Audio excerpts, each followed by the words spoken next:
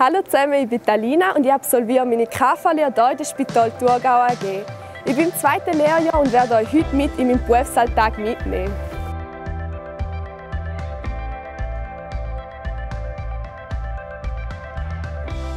Das Coole an meiner Lehre ist die umfangreiche Ausbildung. Wir durchlaufen zwölf verschiedene Abteilungen in diesen drei Lehrjahren.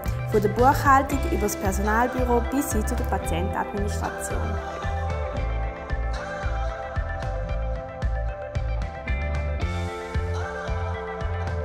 Die erste Abteilung, welche man durchläuft, ist am Empfang.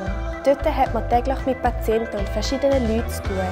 Man lernt das Spital besser kennen, was auch in den weiteren Abteilungen sehr hilfreich ist.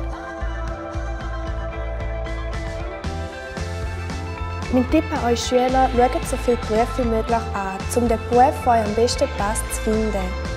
Wenn ihr euren Traumberuf gefunden habt, dann gestaltet eure Bewerbung der Firma entsprechend. Hier seht ihr mich im Lager. Meine Aufgaben sind Bestellungen parat machen, Artikel einräumen und noch vieles mehr. Das sind keine typischen KV-Arbeiten, machen aber trotzdem extrem viel Spaß.